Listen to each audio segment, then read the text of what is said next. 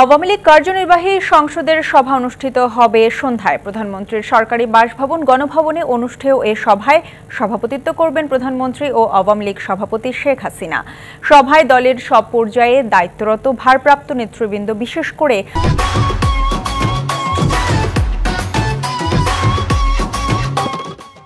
ভারপ্রাপ্ত সভাপতি ও ভারপ্রাপ্ত সাধারণ সম্পাদকদের ভারমুক্ত করে চিঠি পাঠানোর সিদ্ধান্ত নেওয়ার প্রস্তুতি রয়েছে বলে জানা গেছে। এর আগে গত ছয়ই আগস্ট দলের বিশেষ বর্ধিত সভায় ভারপ্রাপ্ত নেতৃবৃন্দকে ভারমুক্ত করার ঘোষণা দিয়েছিলেন দলীয় প্রধান শেখ হাসিনা।